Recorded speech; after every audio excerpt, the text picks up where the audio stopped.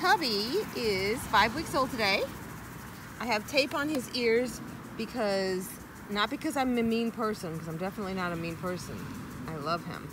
The reason I have it on is because it, if you get their ears to stand, then they don't get ear infections. I've never had a Chihuahua with up ears have an ear infection, not one time. And I've had many dogs that have had floppy ears, not Chihuahuas, but other breeds, that have had ear infections. And I've had an ear infection before, and it's very painful. And the floppy ears don't allow the air in, and that is makes them more susceptible to the ear infection. So I got to get those ears up. So don't call me mean on this. I know it's easy for people online to say stuff. All right, let me put him on the scale on zero.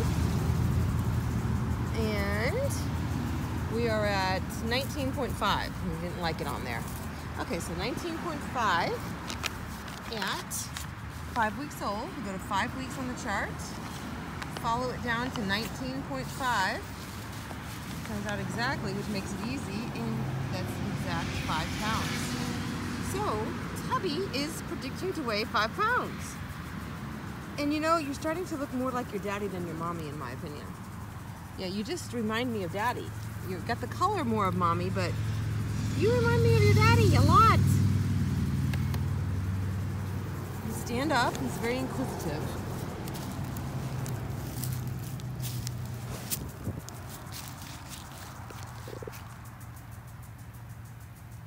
Got a little heart on his head, on the top of his head. It's not really a heart heart, but it's kind of a heart.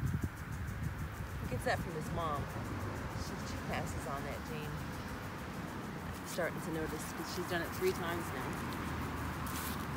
Yeah.